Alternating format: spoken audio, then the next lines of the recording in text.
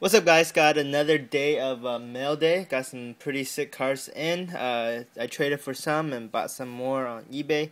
Uh, so I'll start them off. Uh, and uh, a couple of these are for sale or trade. So just let me know.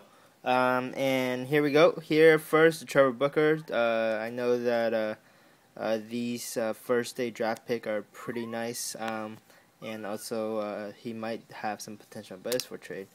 next up, nice Kevin Love.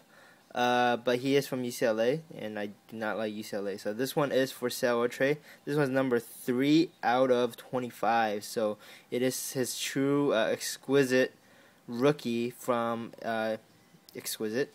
And again, only 25 of them exist, so pretty rare. And this is actually in pretty decent condition, maybe a little white showing, but consider how it is uh, exquisite. It's in pretty damn good condition.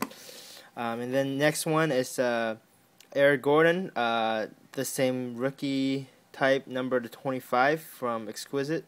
Figure I grab one of these guys just for my Eric Gordon PC.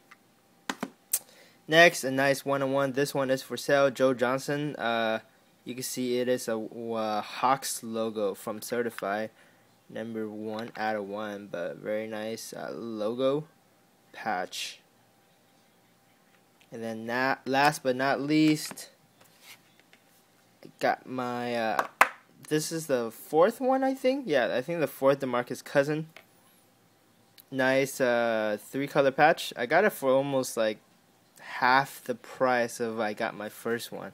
So the price on these dropped a little bit, but hopefully uh, this will be the lowest they will be. And this is actually in pretty damn good condition. So I might send it in for Beckett grading because I think it should have a shot at getting uh, 9.5 but it should definitely be a 9, but hopefully it's a 9.5. So 24 out of 99. That's it for my mail day, but again, a couple cars uh, that are for sale. Got the Kevin Love, got the one-on-one Joe Johnson, Trevor Booker for a couple dollars. Also, I do still have this Gary Payton dual, I mean, auto patch, sick patch for the Lakers, number 3 out of 10. If not, I'll probably throw some stuff on eBay. Um, and then, yeah, that's it. Thanks for watching, guys. Peace.